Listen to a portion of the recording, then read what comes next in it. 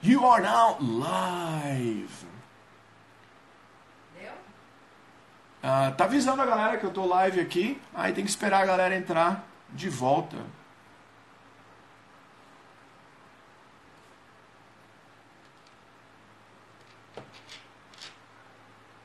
Aí a galera voltou, tá voltando aí a galera. Valkyria está na área, Luana tá na área. Ó as meninas aí, meninas, a gente tava falando de vocês agora há pouco, que a gente é super feliz de ver vocês treinando, ver vocês no tatame. Ah, assiste aí depois do começo. Eu acho que o Bigão falou uma, ah, umas coisas bem legal. Bella has faith, tá na área. Isabela Faith, Lilian de Mello oficial tá chegando na área. Luana tá aí foi o ah, caiu por causa do peso do do Gil do Bigão. Deve ter sido mesmo. Deve ter sido mesmo. Né? Que nem o Daniel falou, o Guizão falando aí também.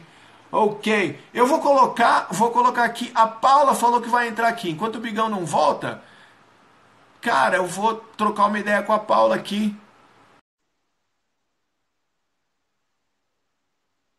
Ela já está entrando aqui. Felipe Jerry, bem-vindo. Escola de Lutas José Aldo, Aldo, Thiago Braga, todo mundo na área. José Aldo lutando hoje também à noite.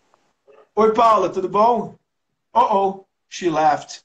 Apareceu aqui, she left. Então tá bom, deve ter caído, não sei. Wilton voltou na área também, a galera toda voltando. Bigão tá na área, acabou. Ele falou aqui, voltei. Tai Fuxin. Ah, é português, é inglês, Uh, is that English? If it is, you're welcome. Bienvenido, ser espanhol. Aqui, tá na área. Aqui, meu amigo Crespo está na área também. Não sei se ele entrou na live, mas enfim, eu vou falar com o meu amigo Thiago Braga aqui. A gente vai continuar essa live. Pessoal, essa live não tem assim, hora para terminar e tudo. Né? A gente vai falar mais um pouco e queria a participação de vocês também. É Crespo está na área. Enquanto a gente espera a galera voltar, eu, eu queria falar sobre o Crespo, esse Cres Brasil que entrou aí agora. Esse cara, eu não gosto dele, mas ele é meu. Eu nunca fui muito com a cara dele, mas ele é meu amigo há 27 anos, cara. Você acredita? 27 anos, em 1981, numa vida distante, numa outra encadernação, nós somos amigos desde menino, de taekwondo. A gente fazia taekwondo junto e tudo, nos conhecemos com o taekwondo, mas hoje Hoje nós dois ah, nos fizemos a transição da faixa roxa. Ah, eu creio, eu tenho vontade, muita vontade de pegar no kimono dele um dia. Um dia Deus vai nos dar esse prazer. A gente já se bateu muito, me deu muita porrada, tá falando aqui. É verdade. É, o pior é que é verdade. Ele entrou no Taekwondo alguns meses ah, depois de mim e pegou a faixa preta um ano antes de mim. Né? Mas assim, ficou obcecado. né? E, e, ficou obcecado e tudo. E mas hoje, agora que nós, acho que aquela força toda acabou e tal, né? E a gente e a gente agora depois depois de velho resolvemos fazer jiu-jitsu, né? Faixa roxa também, também treina com Felipe Furão, né? Ah, hoje em dia treinava com Otávio, né, Crespo? Começou com o com o Otávio Mesquita lá na Califórnia também, ele é meu amigo desde esses anos. Nós, eu morei com ele quando eu fui para Califórnia em 96 né? Ah, é, três graus, né? Tem que falar os três graus, né? Tá vendo por que eu não gosto dele? Esse tipo de coisa. O cara inconveniente. Ah, enfim, Crespão, ah, legal te ver aí. A gente tinha que trocar essa ideia ao vivo um dia desses. Mas, Bigão, eu tava falando até de, até de força agora há pouco, e você falou da força do jiu-jitsu para as mulheres e tudo. Nesse contexto, você falou de fazer força. Pô, vou te jogar uma. Vou levantar a bola para você bater. Para você bater. É, que força o quê, rapaz? Jiu-jitsu é arte suave. É. Otávio Mesquita, eu não falei Mesquita, eu falei Otávio Souza. Otávio Souza. Não, treinava com Otávio Souza, que era aluno do Zé Radiola, que, treina, que tá lá em Huntington. Tá? Me enganei, perdão, Otávio Souza. Desculpa, Otávio, se assistir isso daí. Mas então, a força no jiu-jitsu. Jiu-jitsu é arte suave. Vai me desculpar, mas não se usa força no jiu-jitsu. Cara, Pronto, está é... levantada a bola conversa fiada, né? Conversa fiada, assim. Você vê assim, tanto é que se dois caras tiverem um, um nível técnico semelhante, é, provavelmente, não é 100%, o jiu-jitsu ele não, não é uma ciência exata, provavelmente vai vencer, vai vencer o cara mais forte. Né? Assim, um, uhum. Eu vejo assim, um, um grande exemplo, na verdade, todos os atletas acordaram para isso, mas o exemplo mais recente aí é o Leandro Lô, né, que foi um cara que ele, ele fala isso nas entrevistas, que ele imaginava que o negócio era só treinar jiu-jitsu, treinar jiu-jitsu, e aí ele viu que ele, quando ele começou a, a crescer o olho no, no, no absoluto, que não, não tem esse papo. O Leandro é um, é um monstro, né, cara, das alavancas, Sim. o cara passando, parece que tu tá querendo segurar a água, né, ele passando guarda. Então, assim, não tem o que falar disso, mas aí você vê que, pô, é, naquela final com, com, com o Bernardo Faria ali, faltou, faltou força, faltou pujança para segurar a onda. Né? Então, uhum. assim, é, então o jiu-jitsu ele, ele, ele requer força sim. Isso aí é conversa. E fora que é o seguinte, é só treinar jiu-jitsu, sair todo amassado, que tu vai ver que não tem nada de suave nisso aí. Isso aí é uma, é uma conversa danada, assim. E, e isso porque o jiu-jitsu hoje em dia, né, o, o, a, a nova escola, New School, na, na parte de passagem, principalmente, ela é uma, é uma escola mais, mais rápida, né? De, de, de leg drag, né? Uma escola um pouco mais acrobática. Vai pegar uns caras old school mesmo aí e, e, e bota esses caras na tua guarda aberta aí que eu quero ver tu falar pra mim que é arte suave. Entendeu, irmão? Os caras te invocando assim, cara. Pô, eu os caras juntam todos os órgãos da tua cavidade abdominal num espaço desse aqui, ó. Junta Sim. intestino, estômago, coração, pulmão, tudo numa caixa desse tamanho, assim, os caras te dobram ao meio. Então, eu assim, cara, tenho, não tem eu nada. Tenho um amigo, parceiro de treino, que ele fala, meu irmão, não passava, aquela pressão ali não passava nem Wi-Fi. Ah, cara, os caras mesmo assim, tu pega os, os grandes mestres aqui de Brasília das Antigas, quando os caras estavam por cima, tu só mexia os olhos para um lado e para o outro. É o máximo, não conseguia mexer, não mexia mais nada, né? Então, assim, tem essa, é, tem essa diferença, não estou dizendo o que é melhor ou pior, depois a gente pode até ver, é, tratar em relação ao MMA em si, que aí tem uma diferença. Mas, cara, jiu-jitsu, arte suave é só o nome que fica bonitinho, dá um slogan, dá uma ideia de filosofia de vida zen, porque, meu irmão, é como diz o, o, o, termo aí que o, que o Barral jogou pro alto, né? É porrada todo dia, meu irmão, não tem nada de suave. Porrada, everyday porrada, não tem jeito mesmo, né? Que acaba virando uma mentalidade de vida, né? De, de não desistir, de matar um leão por dia mesmo, que é aplicável na vida toda, no trabalho, dando aula, quando você uhum. tem um diagnóstico que não é favorável, que o médico dá uma notícia não muito boa, todas as áreas da vida você tem essa mentalidade de não, é amasso mesmo, seja, seja metafórico, seja literal, e o negócio é continuar. O negócio é continuar. Você falou de old school e new school. Uma das perguntas que a galera mandou, pergunta do Aleph Tourão. Ele falou assim, eu até anotei aqui, ele falou. Eu anotei uh, uh, palavra por palavra. Quais as principais diferenças entre o Gil Old School e New School? e quais as vantagens e desvantagens de cada um. Aí, entre parênteses, você coloca, caso haja alguma desvantagem de jogo. Cara, Aí assim, acho que já do aspecto mais técnico, talvez, né? É, ele deve tá, estar tá falando nesse sentido assim. Cara, o, o, o jiu-jitsu, ele se vê assim, desde a criação dele até a fase em que se considera ainda old school, ele já é uma evolução. Né? O old school uhum. é um new school da, do, do jiu-jitsu original. Então não tem isso. O jiu-jitsu ele não, ele, não para nunca.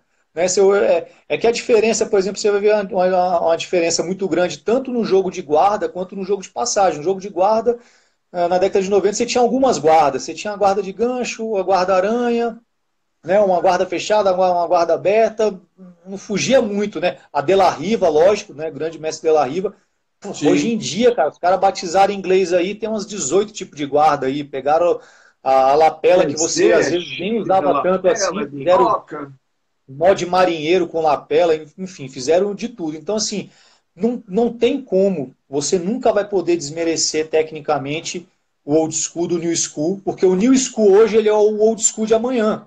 Vai ser assim enquanto Enquanto Jesus não voltar, não sei se no, no novas, no, novos céus e nova terra vai ter jiu-jitsu, não, não, sei. Mas enquanto uhum. ele não voltar, o jiu-jitsu não vai parar de evoluir nunca. O jiu-jitsu vai continuar evoluindo e o que é new hoje vai ser old amanhã e, e assim por diante. Então, eu não faço esse juízo de valor. Eu, por exemplo, é, apesar de, de, de ser dessa escola antiga, e, e, e, a escola nova, ela, ela, ela, traz algumas dificuldades se você tem alguma limitação física né, da idade. Então, ah, as hernias de disco, as tendinites da vida, etc. Uhum. Não é fácil, porque é é, é, é, é, ele é mais rápido. Né? Então, ele é um jiu-jitsu mais rápido. Você vê na questão, principalmente, da passagem, né, que é o, que a galera tem falado muito do flow, né? Que é esse esquema que você vê, pô, você vê o Rafael Mendes mesmo pass trabalhando passagem, você vê que ele quase não faz pegada, né? Ele encosta e empurra, ele encosta e empurra, ele não. Por quê? Porque quando ele pega, ele dá a chance do guardeiro também pegar no kimono dele. E aí ele ele se dá o luxo do cara de alguma maneira botar ele no jogo. Ele não deixa, né? Você vê que ele não faz pegada, ele vai empurrando o joelho para um lado e passando o pé para o outro. É a coisa mais, mais linda de ver. O Cyborg também faz um, um jogo assim bem bonito, apesar de ser um cara pesadíssimo né, nisso daí. Então, assim, realmente eu queria já de, de, de, antemão, porque várias vezes eu, quando posto alguma coisa, eu boto às vezes uma hashtag ou desculpa, mas é para dizer da, da, da, geração que eu faço parte, não é desmerecendo a New School, inclusive até. É, ele não deve estar mais aí, mas é, eu lembro quando o Bochecha lutou o Mundial com aquele pet no Nutella, e alguns caras da nova geração compraram a briga errada, não entenderam o que ele estava falando. Sim, sim, eu vi sim. ali, por exemplo, assim, eu vi o Patrick Gaudi, eu vi o Isaac Baense, que são caras que são. Eles não entenderam que o Nutella não tem nada a ver com eles, porque eles são caras, meu irmão, de confere. Os caras os, os cara caem para dentro, os caras, meu irmão. pelo contrário, né? Os caras lutam com todo mundo. Os caras não entenderam. O, o, conceito de Nutella que o, que o Boucher estava falando ali era, é, é mental. Né? Então, Sim. assim, é, é, mental. E o, e o Bochecha usou o, o, referencial, eu lembro quando ele deu entrevista de falar no, no, de falar no Zé Mário, né, de falar de caras dessa época, porque é, essa tradição antiga ela desenvolveu, e eu tento passar isso para as crianças, e quando eu estou treinando nos adultos, não dando aula, mas treinando, e, e, as vantagens de ser mais velho é que nego sempre te dá a fala, e tu pode falar a bobagem que tu quiser no final do treino, é, é, chamar a atenção de, desse espírito do confere né, de tudo, que é aquilo que você falou do everyday porrada para tudo na vida, para combater doença, para combater as, as, adversidades, as tribulações, né? É, é, esse espírito do confere, de tu não, não, esmorecer, de tu sempre ver de qual é, quem é o oponente novo. Eu quero saber uhum. de qual é dele, eu quero testar meu jiu-jitsu com ele, quero ver como é que tá. E isso aí na vida você vai usar para tudo, né? É uma, é, é, uma, é uma enfermidade nova, quero ver então se ela, se ela aguenta o, o meu melhor. Né? Ah. Tem uma tribulação, tem uma prova, tem um desafio, quero ver se ele aguenta o meu melhor. Esse é um espírito que antigamente ele era muito, ele fazia parte assim do, do, do, do da atmosfera do jiu-jitsu, era, era cair para dentro mesmo de tudo e todo. Você não tinha muita opção de analisar cenário e não, essa, essa briga eu não vou comprar. Né? Uhum. Você, cara, você caía para dentro mesmo assim para lutar tudo. Então, essa é a diferença do no Nutella, essa é a diferença do no mimimi, né? Então, assim, os caras não entenderam. Na questão, na questão técnica que o cara falou, o que eu vejo é o seguinte, uh, e você vai notar isso facilmente olhando o, o MMA. O jiu-jitsu antigo, ele, ele era um jiu-jitsu mais preparado, mais adaptável ao, ao vale tudo, ao MMA do que o jiu-jitsu atual. Simples, por quê? Uhum. Cara, por exemplo, uh, justamente por você usar menos a lapela, por exemplo. Você não tem a lapela no MMA. Então Sim, eu vejo alguns grandes lutadores de jiu-jitsu esportivo que no, no, no, eu vejo eles passarem dificuldades, por exemplo, no no-gi. Quando eles vão lutar, você vê que os caras têm alguma dificuldade. Né? Então, assim, e o próprio no-gi tem posições ali que valendo o soco na cara, acabou, não adianta não nada. Entendeu? É, é, você quer saber isso, é você fazer um treino de MMA um dia, você vai vai, vai, vai querer botar tua meia guardazinha ali, toda ali, tu vai tomar um soco na costela, você rapidinho vai, não vai querer fazer mais ela. Você vai querer pensar num, num outro plano. Então, esse jiu-jitsu antigo, ele era muito justo. Né? A guarda fechada era muito justa. Você, para pegar um braço, você escalava sem dar espaço. Era aquela coisa da constrição mesmo, assim. Né? Então, ele uhum. se adaptava muito fácil para o MMA por conta disso, porque ele não dava brecha, tantas brechas para você apanhar. Né? Na questão por cima também, quando, o, o, quando os caras caíam por cima, isso que a gente falou, o cara não conseguia nem olhar. Então, uhum. num, num, num, momento que está todo mundo suado, que você por baixo está podendo dar um soco, podendo dar uma cotovelada, aquele ajuste, aquele ajuste é sinistro, aquele ajuste funciona muito bem. Então, é esse jiu-jitsu mais moderno hoje, que eu acho lindo e eu tento aprender e tento é, evoluir junto com ele, não dá para migrar desse jiu-jitsu aí para o MMA. Então, essa diferença básica, se for para falar de vantagem e desvantagem técnica, eu vou, eu vou te, te falar nesse sentido. Para o MMA, o jiu-jitsu old school, ele é, mais, ele, ele é mais adaptável. Por outro lado, eu tenho gostado muito do jiu-jitsu novo porque eu, eu acho ele mais divertido, entendeu? Essas posições e tal. O jiu-jitsu antigo, às vezes, era muito travadão, muito parado, ficava aquela coisa assim, meio que uma briga de ego, assim, ninguém querendo ceder uma vantagenzinha, um pontinho. Hoje eu acho que o jiu-jitsu mais dinâmico assim é mais divertido de, de treinar. Entendi, entendi. Legal, espero que tenha respondido aí, pelo menos para mim, achei bem legal. Espero que tenha respondido para o Aleph Tourão. Agora eu tô me ligando porque que eu acho que eu falei Otávio Mesquita, porque eu estava lendo a pergunta do Gustavo Mesquita e eu acabei dando mole. Tô aqui pensando, chamei o Otávio, um cara que eu admiro pra caramba, errei o nome dele. Mas enfim, né? Uh, já me desculpei. Agora que eu percebi o porquê que eu fiz isso, né? A idade chegando. É, o Gustavo Mesquita, ele mandou, ele mandou a mensagem também, mandou a pergunta. Ele perguntou assim: qual foi a maior inspiração para ter continuado a treinar e se dedicar ao esporte por 15 anos e ainda se manter ativo? Né? Eu não sei se ele usou 15 anos, porque você está 22 anos no Gil. Talvez ele não soubesse, de uma maneira figurativa, né? Tantos anos assim se a motivação, inspiração para ter continuado a treinar e se dedicar ao esporte por tanto tempo assim e ainda se manter ativo. Como é que funciona isso? Cara, funcionou assim. Quando eu, quando eu comecei, quando eu comecei no jiu-jitsu, principalmente na, na faixa branca até a faixa roxa, por, graças a Deus por morar aqui em Brasília, morar junto com meus pais, eu é, pude me dedicar muito. Foi a, foi a época que eu mais, mais lutei campeonato. A gente, a gente lá no Del, a gente viajava quase todo final de semana, tinha um campeonato. A gente ia para Minas Gerais, ia para São Paulo, Rio uhum, um pouco menos, ia, ia para ia o estado de Goiás. Então tinha muito campeonato. Entrava, a galera ia para o ônibus e, era, e fora os, os, de Brasília, os de Brasília também. Então essa época tinha essa, essa, essa, essa motivação da competitividade né, tinha um, um, sonho de talvez viver de jiu-jitsu, então isso era uma, uma motivação para estar tá ali dentro, para treinar todo dia. A gente treinava de domingo a domingo, treinava duas vezes por semana, duas vezes por dia, etc. Mas justamente numa, numa fase em que as responsabilidades começam a chegar na vida, e aí você, eu comecei a ter que treinar menos jiu-jitsu do que os meus, meus colegas e comecei a, a ver eles evoluírem mais do que eu. Uhum é, o meu orgulho, o meu ego começaram a me sabotar. E ah. eu comecei a, a, a treinar menos jiu-jitsu do que eu poderia e já uhum. quase parando, já fazendo treinos esporádicos. Quando eu mudei para Santa Catarina, eu, eu não, não tinha um lugar fixo para treinar, então às vezes, raramente ia na, na casa de algum colega que tinha um tatame, fazia uma brincadeirinha, uma coisa assim. Então praticamente eu tive um hiato aí de jiu-jitsu Entendi. Tanto é que eu fiquei sete anos na roxa. Então eu tenho um hiato de jiu-jitsu aí de uns seis anos sem treinar direito. E foi uhum. justamente quando eu ainda estava quando ainda tava de, de roxa que eu conhecia, conhecia a minha esposa. A gente, eu falo que a gente veio para Brasília em 2014 porque a gente está tá de 2014 até agora, mas a gente teve umas duas, se eu não me engano, duas ou três vindas para cá que a gente passou um ano e voltou para Santa Catarina, mais um ano e voltou. E numa delas, é, é, ela me incentivou, ela falou, cara, volta, volta, me incentivou, aí eu voltei lá no Dell, aí né? peguei a marrom e, eu, e aí eu, e eu nunca mais parei. E aí eu, graças, graças uhum. a Deus, graças, assim, eu devo a ela essa motivação de sair daquela coisa meio parado, é, uma, uma, até coisa do próprio caráter mesmo, de coisas que começava e nunca terminava.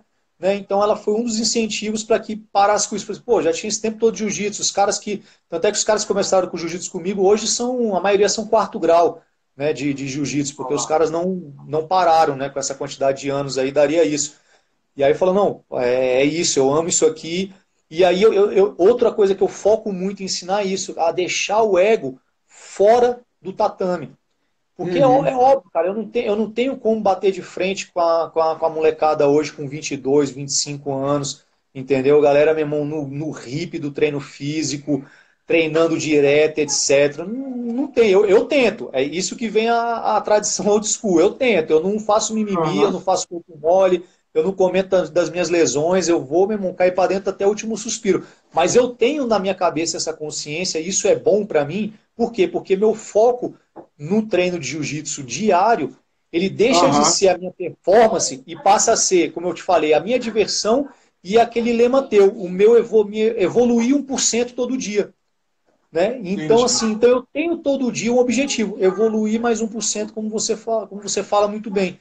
Então, isso é combustível para me treinar jiu-jitsu o resto da minha vida. E, e, tendo, e tendo agora minha esposa treinando junto, tendo minha, minhas filhas começando, entendeu? É, tendo agora 25 crianças lá no, no, no Vajão, treinando uhum. com a gente, se, inspira, se espelhando na gente. é o, é o que inclusive me deu motivação para voltar a competir. A, em breve aí, acho que em, se tudo der certo, a organizadora em março aí eu devo estar voltando a competir, porque é para justamente dar o um exemplo para elas, entendeu? Então, cara, é, essa turma toda aí é o combustível para a gente se manter ativo aí para enquanto Deus permitir que a gente continue lutando e treinando. Excelente, excelente. Boa. O Wilton mandou uma pergunta também. Uh, ele falou assim: uh, pergunta para o Bigão. Como ele vê o jiu-jitsu? Como você vê o jiu-jitsu? 22 anos, aqui, ó. Tá aqui, ó. E aí, Marcelão, tudo... tudo bom? A faixa azul mais casca grossa que ah, eu conheço. É. Olha, vou te dizer, viu? né? Realmente, é, eu sei muito bem. Realmente. Mas uh, eu não sei se você está ouvindo, aí está prestando atenção. A gente falou das meninas fazendo Gil. Uh, bem legal saber que a família treina junto, que as meninas treinam. É, o, o, como eu falei, o Wilton mandou uma pergunta falando assim: como você vê o jiu-jitsu na mudança de vida de uma criança e na evolução da mesma como pessoa e atleta? Qual é o papel do jiu-jitsu? Eu acho que essa é a ideia dele. Cara, é, eu, eu, eu, eu vejo o, jiu-jitsu na, na mesma linha daquela, daquela importância, e aí eu vou colocar algumas particularidades daquela importância para as mulheres também. Né? Então, por exemplo, no caso das crianças, é, é, tem, tem esse, esse fenômeno. Na, no, na, na, nossa época de escola, o, o, tal do bullying sempre existiu, mas a gente lidava sim. com ele de, de outra maneira. Eu falava assim: sim, sim. o maior bullying que eu tinha era na minha rua. Então, o bullying que fazia na escola não dava nem graça, não tinha nem. não fazia nem cócega, não, não dava para traumatizar em nada, porque já subia chorando, às vezes escondido, porque não podia chorar na frente de ninguém, já subia chorando da rua mesmo. Então, assim, uhum. tinha um tratamento diferente né? Tem a, a questão mesmo como é que a gente lida com isso. Mas para a criança em si, eu, eu, eu, tenho visto, na época atual, principalmente, o jiu-jitsu tem uma importância muito grande na parte física e cognitiva. Por quê? A gente, quando era criança, a gente brincava demais. A gente subia a árvore, a gente é, brincava de, de, de, de, luta. Eu lembro da, da época dos, dos, do, dos heróis japoneses, então tentava fazer aqueles golpes todos, voadores, cara. Isso vai desenvolvendo tua habilidade, né, cara? Plantava tá se entregando, hein? Tá entregando a idade, hein? Dava, é, eu falei, falei japoneses, tem, tem os Power Rangers que são mais atuais, mas os caras vão buscar lá no Spectroman, lá no Jato, vai, vai entregar de verdade. E hoje não tem, né, cara? Hoje tu, hoje tu, vê, hoje tu, vê, a, hoje tu vê a molecada sentada né, o dia inteiro, computador, né, videogame. E eu vejo isso nas crianças que eu, que eu lido, porque às vezes eu, eu, eu mostro para elas, assim, eu faço um desafio para elas naquele dia de uma movimentação né, é, lúdica, e elas têm extrema dificuldade, coisa que na nossa época não teria. Toda criança Sim. sabia dar uma estrelinha, por exemplo. Que criança que não sabia dar estrelinha? Cara, as crianças não sabem dar uma estrelinha. Uhum. Parece chocante. Eu, eu, eu, na época da faculdade de educação física, a, a minha ideia de trabalho de conclusão de curso era fazer um comparativo de valências físicas entre as crianças atuais e antigas, uhum. mas enfim, ia ser muito complicado, não deu. Mas era mostrar isso. Você vê hoje assim, por exemplo, a capacidade de uma criança hoje é, ficar agachada de cócoras, elas não conseguem. A gente ficava horas agachados jogando bolinha de gude tranquilamente. Uhum. Elas hoje muito cedo já estão tudo encurtada, né? Já estão com encurtamento muscular, já estão com uma série de problemas. Então o jiu-jitsu ele já ele entra como um esporte e ele já vai de antemão já batalhar em cima disso, porque ele vai desenvolver essa questão de lateralidade, coordenação motora, de força. Então, ele como esporte, eu estou falando ele como esporte, ele já vai ter essa importância para as crianças nesse sentido. Né? Uhum. Muito mais lúdico do que ela fazer uma academia, por exemplo, de musculação, que eu tenho visto o pessoal entrando muito jovem na musculação, e eu não tenho nenhum problema quanto a isso, tá? Não, não, não tem esse mito de musculação fazer mal uhum. para crescimento, desde que seja bem orientado, mas não desenvolve essa, essas questões mais corporais que eu estou falando.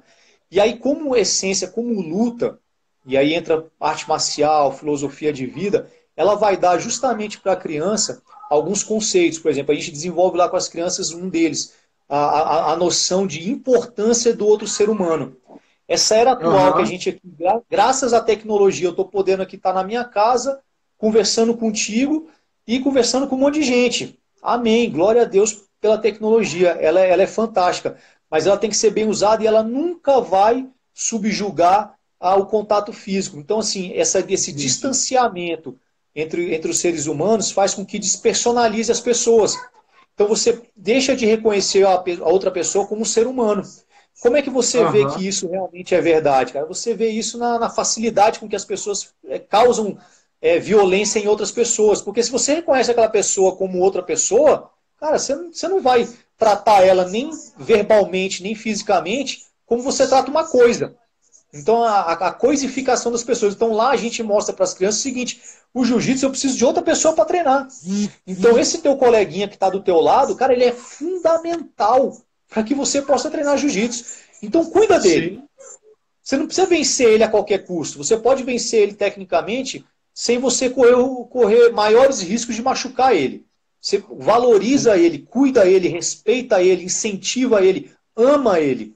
Né? Então a gente cria esse, esse, esse ambiente no, no jiu-jitsu. Vai ter uma rivalidade é, saudável sempre. A gente tem que estar tá buscando sempre. Quanto a isso, não, não, tem problema. Até isso a gente desenvolve neles. Eu falo muito isso no final do, do nosso treino para eles, né? principalmente eles que vêm de uma realidade bem difícil e eles já sabem disso, a vida não é fácil, a vida é uma guerra todos os dias.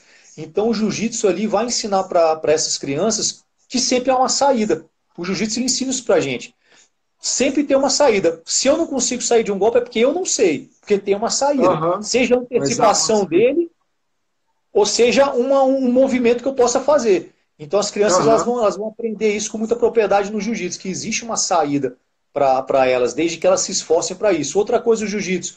Muitas a gente teve o, o, o grande prazer de levá-las no primeiro campeonato de jiu-jitsu dela, no próximo do final do ano passado. Levamos lá é, sete atletas, os sete medalharam, foram seis campeões.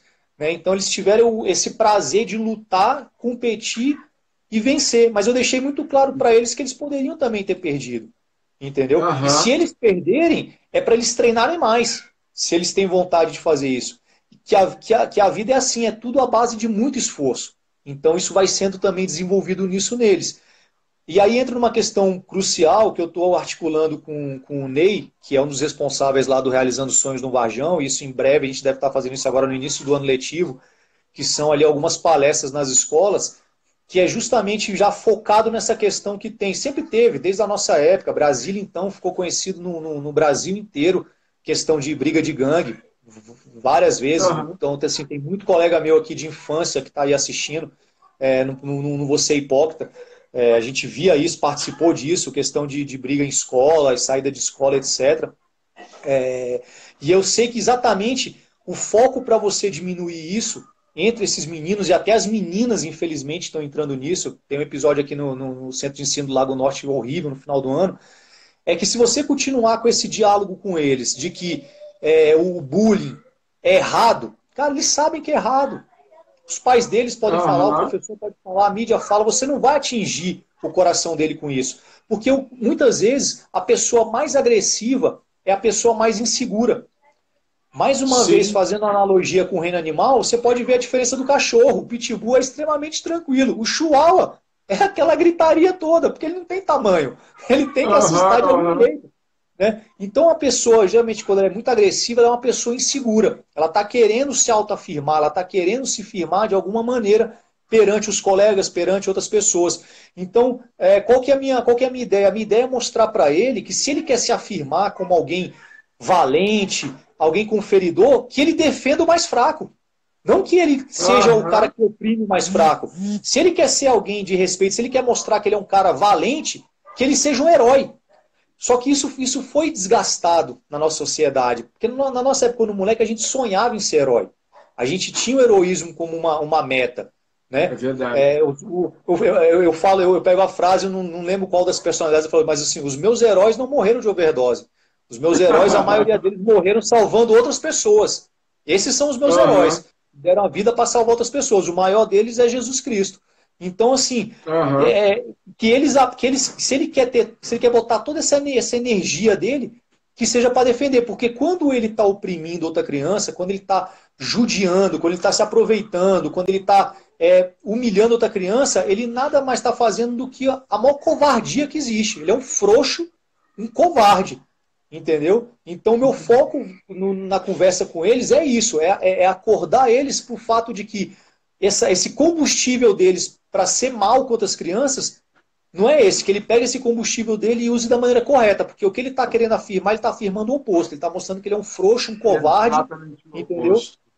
Então o jiu-jitsu ele vai ter esse escopo de, de, de, de, de coisas que, cara, é, é, difícil, né? Eu tô aqui falando do que eu, do que eu, uma das coisas que eu mais amo fazer, não tem como, vou, vou ter que puxar sardinha. É, a gente percebe a tua paixão pelo assunto, a gente percebe e é, e é contagiante.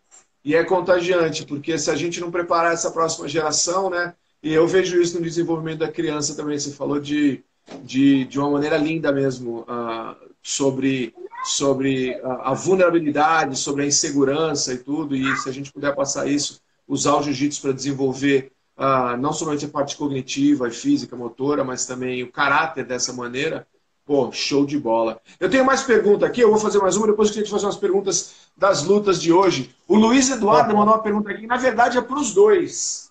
Na verdade é para os dois. Eu não sei por que, que ele está achando que eu tenho mais de 30, mas enfim. É, ele mandou aqui, gostaria de um comentário a respeito da evolução. É o Luiz Eduardo. Gostaria de um comentário a respeito da evolução de quem começou a treinar jiu-jitsu, digamos que não tão jovem digamos que depois dos 30.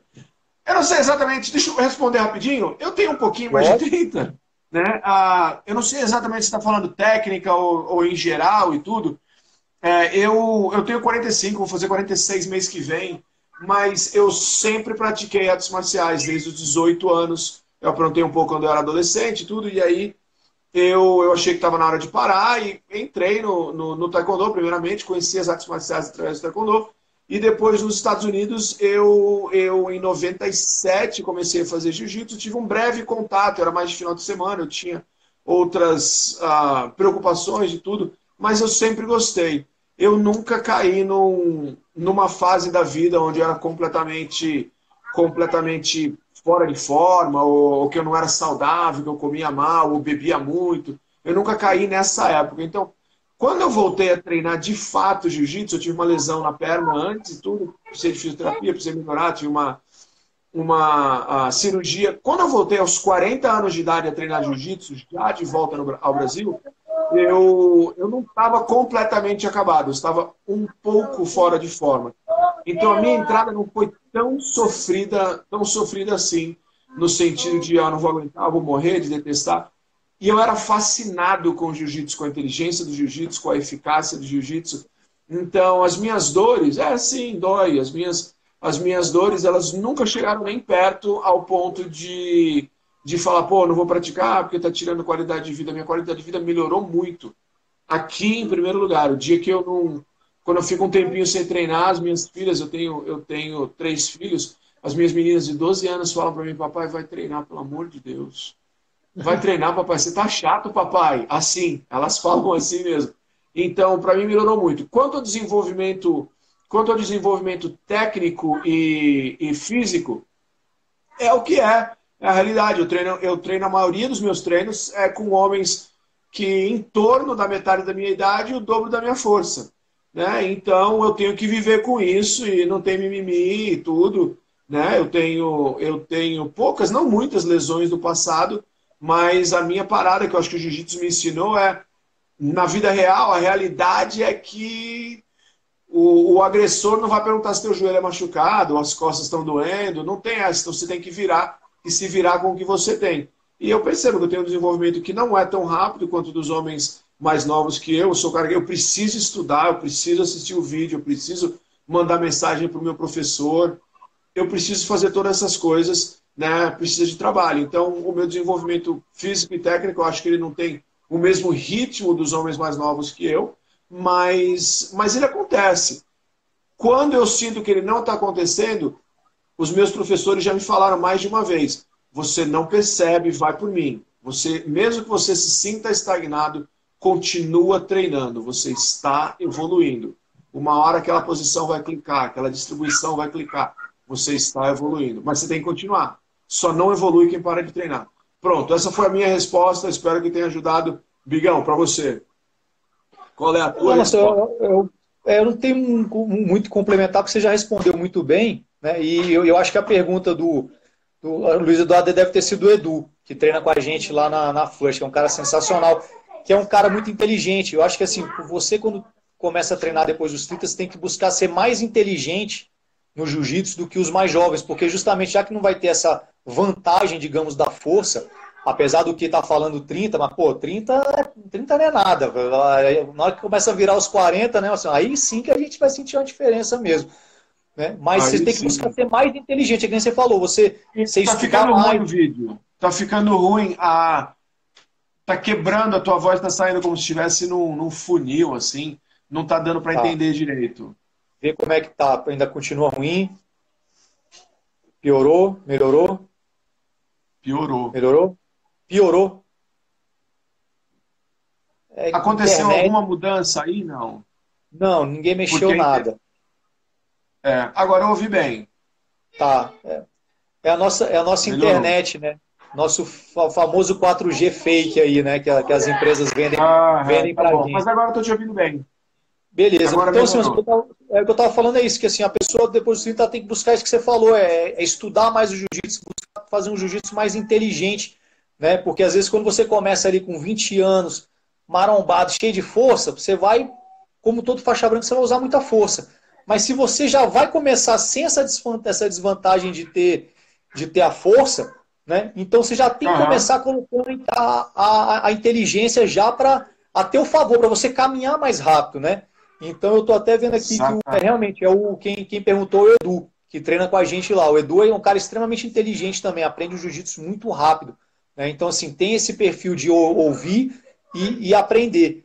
E, o, e, o, e, o, e, o, principal disso daí também, primeiro, que é como está mais suscetível para lesão, se você treinar de maneira mais inteligente, você vai se arriscar menos para se machucar. Né? Isso aí também é, é muito importante o cara tá, tá atento para isso. E fora que, assim, quem acabou, quem deu uma aula, quem entrou mais cedo e viu aí o seu Cleito, o pai do Bochecha, falando sobre jiu-jitsu depois dos 40 anos aí, já já pode entender bem aí que teve um, um, um, mini seminário aí falando sobre isso. Eu não tenho nem, nem muito. A galera assista aí mais tarde aí ele participando, que vai, vai ter falado bem melhor do que eu.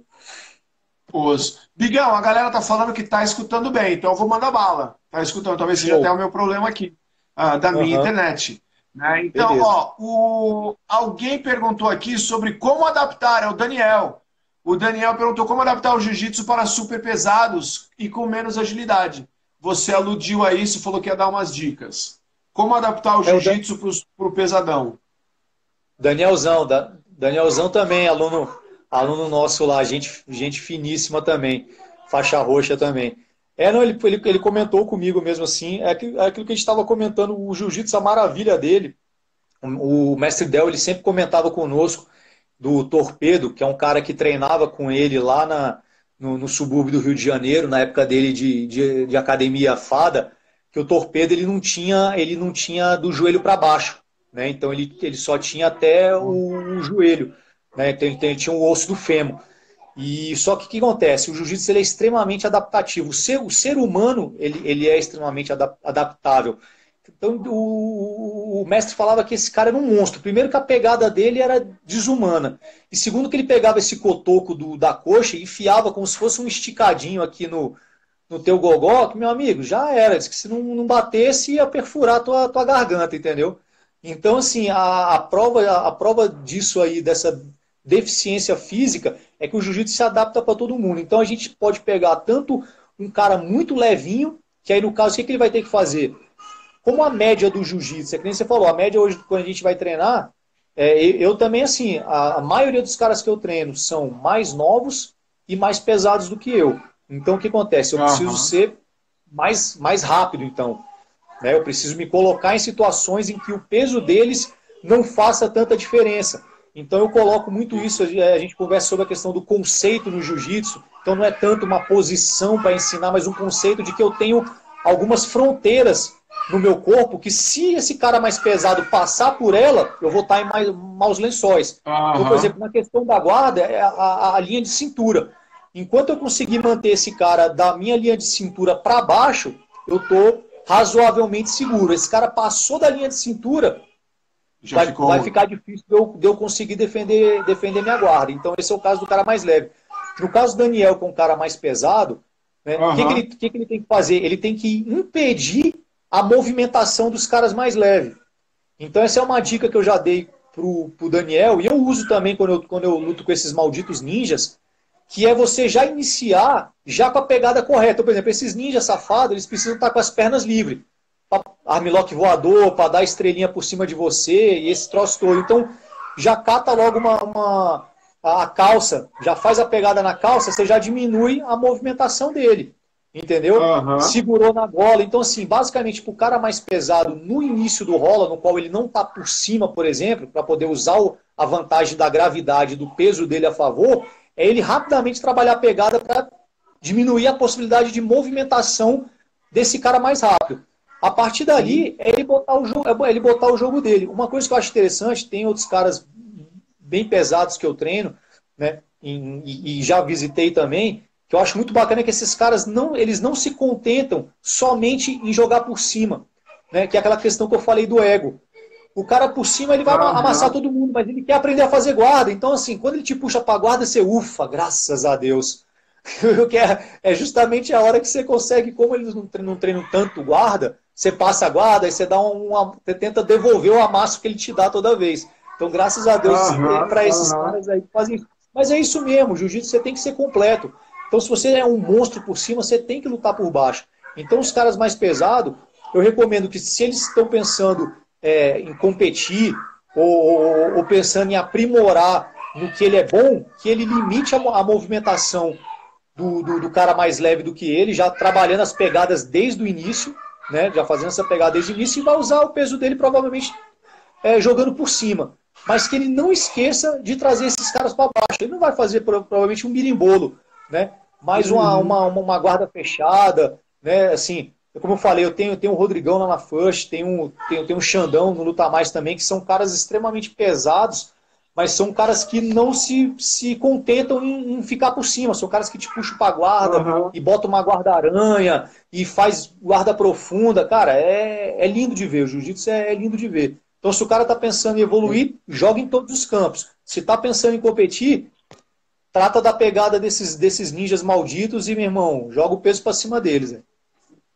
Uhum, então tem que quebrar essas barreiras que a galera coloca. O cara que é mais pesado tem que passar por lá, por essas barreiras, né? Ah, queria dar um oi pra galera aí, Brothers Alves, Almeida, estão na área, bem-vindos aí. Rebeca, bem-vinda também. A gente falou bastante de jiu-jitsu, já fizemos mais de uma hora, já estamos na segunda live é, na continuação. E falamos de jiu-jitsu, de jiu-jitsu feminino também. Eu recomendo que você que você assista também, Rebeca. Assista depois com o tempo. Vai assistindo aí, vai ficar no ar mais, mais 24 horas. Vou tentar colocar no YouTube também. Toda a galera que está aí na área. Bigão, a gente já está quase encerrando aqui, mas eu queria perguntar para você as suas, as suas opiniões sobre as lutas que estão acontecendo aí, que estão acontecendo aí hoje. Esse daqui eu sei que vai dar. Já vou perguntar logo de cara, porque eu sei que esse moleque dá assunto. Esse moleque dá assunto. Né? A gente nem chegou a falar do trash talk, né? E, né?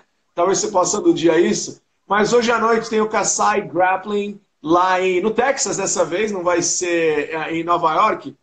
E o Gordon Ryan vai lutar com o João Gabriel Rocha. O que, que você acha que vai dar essa luta? O João Gabriel veio com 260 libras, não sei exatamente quanto é em quilos.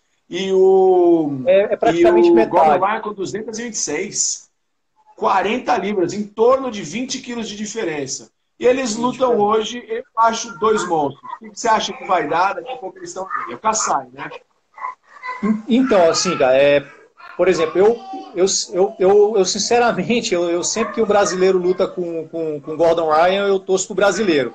Né? Então, assim, uhum. às vezes tem alguns que eu vejo é, tanto nas, nas últimas lutas casadas, como no Mundial que teve né, sem kimono no final do ano, que realmente eu estava torcendo para o brasileiro, mas sabendo que o, que o Gordon é, é, superior tecnicamente, fisicamente, provavelmente ia dar ele, como deu. Né? Já, uhum. com, já com o João Gabriel, eu acredito muito, porque o João Gabriel é, é muito bom, né, cara? Ele foi finalista absoluto do ADCC, uma vez com Calazans né, outro monstro, uhum. tá, sempre, tá sempre batendo de frente com, com, com bochecha também. Então eu realmente uhum. eu acho que eu acho que tecnicamente eles, eles, eles se equiparam, são, são jogos, jogos diferentes de jiu-jitsu, mas eles se equiparam em nível e ele está aí com, com, com, com 20 quilos acima. Né? Então eu acho que, o, que, o, que esses últimos caras que o Gordon lutou, ele não tinha essa desvantagem toda sim, de, de sim? Desse jeito. Então, assim, eu, eu, sinceramente não é só torcida, eu, eu acho que vai dar, João, vai dar João Gabriel. Se der o Gordon, vai, vai, me, vai me surpreender realmente. É, é, a, a, gente já falou sobre isso, assim, o, o, Gordon é um cara que ele desperta amor e ódio, né? E, e uhum. por, por, conta do, do, trash talk. E aí a gente, eu não sei se tu vai querer tratar um pouco do trash talk agora, vamos falar só do, do é, dá uma das aí, na verdade, é né? sua. Né? para não, não, desfocar e não ficar aí, não ficar cansativo para a galera também. É que assim, cara, esses, esses caras assim, né, é, o Gordon, o Charles Sonnen, você vai ver o, o, o Tono lá também, é, é, é, é, a mesma escola. A gente tem que entender uma coisa, cara, antes da gente ter ódio desses caras, né, que a gente já desenvolve logo um ódio por eles. Eu vejo que os caras que conhecem eles nos bastidores falam que 100% desses caras são caras fantásticos. Uhum, Ponto uhum. um, isso é importante. Pô, tu vê o cara, o cara é um babaca nas entrevistas, o cara fala um monte de bobagem, mas já vi falarem isso sobre o Sony, já vi falarem isso sobre o, sobre o Ryan também são caras sensacionais de você se conviver. Então, pô, já, já assinala uma coisa, espera aí. O que, que esses caras estão fazendo? O cara está fazendo, então, na verdade, um personagem. E aí, a gente tem que entender por que, que isso incomoda tanto a gente brasileiro. Você vai ter um exemplo, você vai ter um exemplo hoje da, da, da, das entrevistas, das encaradas, por exemplo, do José Aldo com o Moicano. Do, do, uhum. do, do Moraes com, com a Assunção, extremamente respeitosos ali e tal. Por quê? Porque a, a, a nossa raiz de arte marcial no Brasil, ela veio basicamente do judô e do jiu-jitsu. Que aí você tem todo aquele conceito né, do, do Bushido do, do, do Japão. Respeito, honra, né, é, dignidade, tudo isso daí. Então, para a gente soa muito ruim no ouvido esse tipo de trash talk, esse tipo de, de fazer é, é, essa mídia ou de fazer a luta ser vendável desse jeito. A gente já, já quer logo tirar esse, isso aí em, em, pratos limpos. Então a gente já cria logo um, uma uhum. versão com esses caras. Já no, na a tradição americana de luta, ela é diferente. Ela, ela, é, é, ela vem basicamente, quando a gente está falando de vender luta, a gente está falando de, de, de, mídia, a gente vai estar tá falando nos Estados Unidos basicamente de boxe. Porque se você olhar, o, que os Estados Unidos é grande em todas as lutas, né? Se você for ver no judô lá, muito parecido com aqui. Você vai ver o wrestling lá, vai ter o mesmo perfil do, do, do wrestling russo, do, do, do wrestling do leste europeu, no sentido da tradição. Você vai ver que isso é bem linear. Mas realmente o MMA, como ele, ele, ele veio para tomar o lugar do boxe, ele veio também no, no, no, caminho do boxe. O boxe sempre teve essa questão da, de precisar vender a luta antes, vender a pesagem, vender as entrevistas. Então o trash talk no boxe sempre foi muito comum.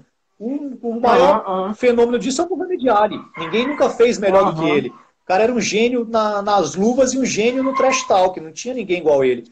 Né? Então, então lá é muito comum isso. Então por isso que a gente consegue ver o cara muitas vezes com esse perfil na frente das câmeras extremamente desrespeitoso e por trás todo mundo fala muito bem do cara. Então assim, para mim é difícil, porque eu já olho esses caras, eu já fico indignado. Quando ele ganhou o, quando ele foi é, campeão peso absoluto aí no, no, no Mundial no Gui, eu, cara, eu saí nas redes sociais já meio que batendo boca com vários americanos, porque os caras já começaram a enaltecer demais. Eu falei, meu irmão, peraí, não é bem assim, respeita, entendeu? Calma aí que na DCC vai botar. E já comecei, então deixa o frio, deixa o preguiça pegar ele, né, e tal, não sei o que, aquela coisa toda. Ele passa do ponto, a maneira que ele está lidando com o André Galvão, que é um cara que eu tenho um, uma admiração enorme, enorme, eu considero, meu irmão, equivocado. Então, esses caras eles têm essa tendência de passar do ponto. Né? Mas é porque é focando nisso, é vender, vender business, business, business, né? Então tem que ter. Mas o cara é um, um monstro. Eu, eu, eu, tenho, eu não gosto muito daquela, da escola dele, que não posso dizer que não é efetiva, porque é pé demais. É até o que você comentou uhum. no, no, na postagem do Kina, né, Cornelius, que realmente, cara, assim. ataque demais de pé deixa a luta chata, entendeu? Assim, demais fica. É uma evolução natural do Nogi, é uma evolução natural. Mas eu, eu, eu, eu entendi um pouco do que o Kina falou, e entendi muito bem também da ponderação que você fez ali. Quem tiver curioso, depois pede para o Marcelão replicar aí, que ele vai postar a postagem para vocês aí do que ele falou com muita propriedade. Mas eu, já no Gordon eu vejo ele diferente dos outros caras da, da, da, da escola ali da ala americana do Renzo. Eu vejo ele no Mundial mesmo, não sei se foi por conta da lesão dele na cervical, ele jogou de guarda. Então ele puxou para uma guarda uhum. de gancho, ele dá aquele meio ataquezinho daquela raspagem, ele trava a perna dos caras para pegar no leg lock, né, ou para pegar numa chave de tornozelo. Então assim, não tem o que falar, o cara é, o cara é muito bom. O jogo dele sem kimono é muito bom. Mas é realmente, cara, tem que, tem que engolir esses americanos. O melhor jeito de não engolir eles é passar o carro neles, velho. Se alguém tá achando uhum. ruim lá do gol, vai lá e ganha dele, velho. Só isso. Vai lá e ganha dele. Vai lá e ganha dele. E na tua opinião, hoje o João, o João Gabriel Rocha vai levar. Acha que ele, pega, não? Não, pegar eu acho muito difícil. Eu acho muito difícil. Eu acho que ele vai. É, acho muito difícil. Ele vai ter que. Vai, vai, vai ser por cima, ele vai ter que jogar por cima a maçã. Eu, até a gente comentou aquela luta, é, o, o Gordo teve muita dificuldade com o Vini. Né? Então esses caras mais manhosos assim, ele não. Ele, ele, ele tem dificuldade. Eu acho, tenho quase certeza que vai ser no ponto. Acho difícil o, Gabriel, o João Gabriel pegar ele. Tá bom. É, o Vini é quase. É quase é, infinalizável, se a gente pode inventar uma expressão, né? Ele é. teve, teve dificuldade mesmo. Tô, eu tô curioso para ver, ver o resultado. Eu não comprei o evento uh, dessa vez, mas eu tô curioso para ver o resultado aí. Uh, tô achando que eu vou acordar de madrugada para saber o que que deu. A última pergunta que eu queria te fazer de, de previsão de luta, luta que todo mundo está esperando, uh, Moicano versus José Aldo análise sincera, então, o que você acha que vai acontecer, como é que vai ser a história dessa luta? Então, como, como eu falei no início, o Moicano, o Moicano é meu amigo, então assim, mas aí, eu, uhum. mais uma vez, nem eu fiz a análise do, do João Gabriel, sem uhum. é, levar para o lado, emo, levar lado emocional. Né? Eu, eu tenho plena certeza que, que vai dar Moicano, entendeu? Acho assim, uhum. é, o, o, o, o, biotipo do moicano, o, o, estilo de luta do moicano é, é bem semelhante com o do, com o do Holloway. Já mostrou que o Aldo tem dificuldade com a, com a galera que tem essa envergadura, que tem esse nível uhum. de luta em pé apurado. O, o, o, Moicano ele tem uma concentração na luta muito grande, ele, ele não sai do planejamento de luta dele, entendeu? Então, assim, se tiver no planejamento dele ali, ele manter a distância, minar, com, com chute baixo ou manter a distância com o jab, ele vai manter enquanto for orientado a fazer isso. É, no uhum. chão, né, é, é o Moicano é um, é um, monstro também, então assim, eu não, eu não vejo eu não vejo uma brecha no jogo do Moicano para que o Aldo possa, possa se dar bem. Né? Só que MMA é aquela caixinha de surpresa, é que nem a luta do Moicano com o Suanço, se o Suanço solta um pombo sem asa ali e pega no queixo, um, um abraço. Né? Não, não, não tem. O, o, MMA tem isso, a luta, o jiu-jitsu também tem isso. Às vezes está passando o carro e sobra um pé, sobra uma mão, enfim. Mas realmente eu, eu, eu, eu, não, eu, eu não vejo um, uma área em que o, que o Aldo possa se dar bem, não. E acho que é até perigoso para o Aldo, dependendo da ânsia que ele vier na luta, ele, ele, ele, ele, ele poder ser, ser nocauteado, entendeu? Aham, entendi. Então, Moicano e João Gabriel Rocha ah, nesse fim de semana. Eu vou assistir a, a luta, espero, né? Vou assistir a luta e já deve ter até começado o card já, já. Né? E eu queria, assim, uma despedida da galera. Como é que a gente te encontra? Como é que a gente te encontra no Instagram? Como é que segue o projeto, o projeto social de que você participa, o Luta Mais Varjão? Como é que a gente te encontra para o seu uh, personal fight? Você faz trabalho uh, uh, de aula particular também, de treinamento. Fala um pouquinho de você, como é que a gente se encontra aqui no Instagram, como é que entra em contato, né? Como é que a gente continua esse diálogo para a galera que está assistindo.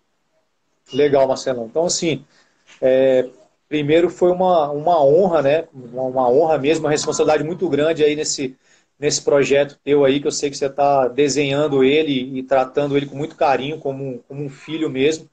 Né? Então, assim, eu, ve, eu vejo ele com muito, muito bons olhos, porque justamente a gente conversou já pessoalmente, eu vejo é, uhum. é, características aí é, em você que vão trazer uma visão diferenciada do, do jiu-jitsu, do mundo das lutas, que vai agregar muito, entendeu? Então, assim, para mim foi uma, uma, uma, satisfação, uma honra muito grande, assim, nunca tinha feito live, nunca tinha feito isso, então, se eu me estendi demais, às vezes, alguma resposta, galera, eu peço desculpa aí, realmente não tenho prática nisso aí, não, não, não sou youtuber, não sou blogueiro, eu, eu tenho meu perfil no, no Instagram, que é o Thiago I Braga, né? O I é do, do meu sobrenome do meio, então Thiago I Braga, arroba Thiago I Braga, que é um perfil pô, totalmente diversificado lá, ele não é um perfil focado no jiu-jitsu, ele tem jiu-jitsu, ele tem minha vida, ele tem minhas opiniões políticas, é, uhum. ele tem minha é, ele tem minha, minha ideologia, ele tem minha cosmovisão cristã, tem uma, uma salada, é, é, meu perfil sou eu. Se quiser saber como é que eu sou, como é que eu penso, você vai ver no você não vai ver no jiu-jitsu. Como é que será que esse cara é? Tá ali.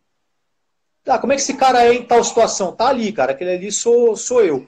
Né? Então, assim, se quiser uhum, me seguir, uhum. quiser trocar uma ideia, para mim vai ser uma satisfação enorme. Gosto demais de conversar de jiu-jitsu, conversar de, de várias outras coisas. É, no, na, em relação ao jiu-jitsu em si, eu, como, como eu falei, eu tenho, eu, tenho, eu tenho um outro trabalho meu no meu no horário comercial, eu trabalho numa, numa operadora de saúde, né, trabalho nessa área também. Então, meu jiu-jitsu hoje eu, eu, eu, reparto ele em três, em três pedaços né, da minha vida. Eu tenho é, participo do projeto Luta Mais Varjão, então quem quiser seguir uhum. ali é, vai ver nas minhas postagens também, mas é o, é o arroba Luta Mais Varjão, que é um projeto que nasceu no coração aí da, da liderança do, do Luta Mais, aí do, do Tiaguinho Turra, do Gui, do, do Xandão também né? E, e, eu tive aí o privilégio deles, é que eu falo assim, não foi, eles me aceitaram no projeto, a palavra correta é, é essa, não tem outra, eles, uhum. eles, me deram a honra de poder participar do, do projeto, que era um, um sonho meu antigo. Então a gente está lá terças e quintas no Varjão, no projeto Realizando Sonhos, que é um prédio bem alto, fica ali no, na praça principal do Varjão, de frente para o centro de, educacional que tem ali né, terças e quintas às 7 horas. A gente tem aula lá para crianças de 4 a 11 anos. Hoje a gente está, pela questão do espaço, a gente está limitado a 25 crianças. Tem uma lista de espera lá enorme de crianças lá do próprio projeto para treinar, mas a gente não tem mais espaço do que isso. A gente precisa, precisa manter esse número de crianças que já passou, eram 20, na verdade, subiu para 25, já chegou a 28, né, para que a gente continue. É, para ter uma, uma, certa qualidade. A gente, a, a, eu, tenho um presente de Deus lá, né, que são, alguns estão aí, tá o Wilton, tá o, tá o Pedro Clark, tá a Paulinha, que já participou aí, tá o Xandão, tem o Jefão, tem o Reinaldo, tem o Deco, cara, difícil vai ser aqui até passar alguém batido assim ao vivo e ser, e ser injusto, né? Minha esposa, que me ajuda demais também, né? O Gui, o Thiaguinho dando, dando esse apoio, vocês no Luta Mais. Então, o projeto lá graças a essas pessoas ele funciona muito bem, porque, pô, imagina, tem 25 crianças e a gente tem mais ou tem em média seis voluntários lá. Então a gente, a gente, a gente consegue cuidar muito bem das crianças, da segurança delas, dos detalhes técnicos, porque tem vários olhos prestando atenção, tem vários corações ali dedicados para elas. Então eles estão muito atentos, às vezes, num, numa, num comportamento, né? Às vezes, em alguma coisa que surge ali naquele momento que se eu tivesse sozinho ali, ia passar batido por mim. Então eles já sinalizam, eles, eles mesmos já vão, já intervêm. Né? A gente tem essa, essa, essa sinergia aí né, do, do, do Espírito Santo trabalhando na gente em prol daquilo ali que faz com que o trabalho ele seja, seja muito bom. Né? A gente está nesse mês de férias aí que o Xandão encabeçou aí o, o projeto com os pais deles, então a gente está tá dando aula para os pais e para as mães logo após o treino das crianças. Que bem legal. bacana, uma, uma galera que está da FUSH aí, de vários lugares, ajudou a gente aí também doando os kimonos, então os adultos estão lá conhecendo o jiu-jitsu num lugar que muitas vezes eles não teriam, não, não sei ainda se, se isso vai ser perene, se vai continuar. A gente tem um projeto de sair dali e, por exemplo, ir para a escola do lado, que aí tem um, um, ginásio, aí seria, enfim, mas essas coisas têm que crescer com, com, com saúde, tem que crescer com, com consciência, porque é, a gente tem uma responsabilidade muito grande de vidas. Né? Então, tirando esse pedaço aí, eu, eu tenho um, os meus horários destinados em que, eu, em que eu entendi que é melhor eu trabalhar com jiu-jitsu com aula individual ou em pequenos grupos, uhum. três, no máximo quatro, para que eu possa justamente desenvolver, como eu falei, eu, eu, eu, não, sou, eu não sou campeão mundial de jiu-jitsu, eu não sou o cara mais duro do jiu-jitsu, então, assim, não vai ser isso que eu tenho para agregar para alguém no jiu-jitsu mas é, eu tenho essa, essa, essa, esse amor e essa vontade de estudar o jiu-jitsu em seus vários aspectos: técnico, psicológico, mental, entendeu? Conceitual, então de adaptar uhum. esse jiu-jitsu para cada um. Então, a, as aulas particulares dos pequenos grupos, eles me possibilitam dar, dar esse tipo de aula. Até a, já me perguntaram se dava coach para competição, sim. Eu acho, eu acho importante ter um trabalho mental para isso também entendeu? E trabalhar focado no seu jogo específico. Então eu tenho aí, quem quiser me procurar no direct, aí a gente vê os, os horários que ainda tem disponível. Thiago, deixa eu te falar, a gente vai cortar em 15 segundos que a gente está terminando a segunda hora. É política deles. Tá? Beleza, Marcelo, um abração aí, aí fica com Deus. Você também.